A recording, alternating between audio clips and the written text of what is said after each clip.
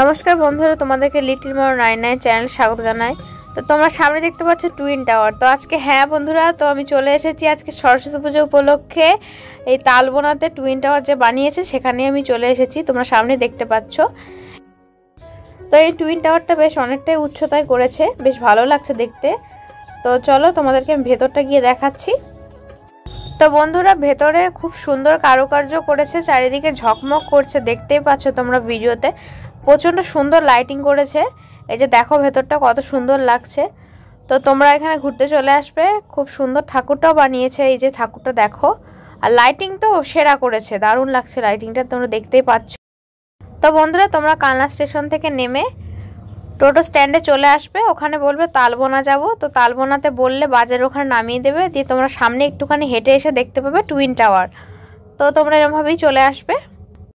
তো বন্ধুরা আজকে ভিডিওটা এই পর্যন্তই। আমার চ্যানেল নতুন হয়ে থাকলে আমার চ্যানেলটি অবশ্যই সাবস্ক্রাইব করে দেবে এবং লাইক, শেয়ার, কমেন্ট করতে তো ভুলোই না। তো চলো আবার একটা নতুন ভিডিওতে দেখা হচ্ছে। আর সরস্বতী পুজো সবাই ভালো করে কাটিও।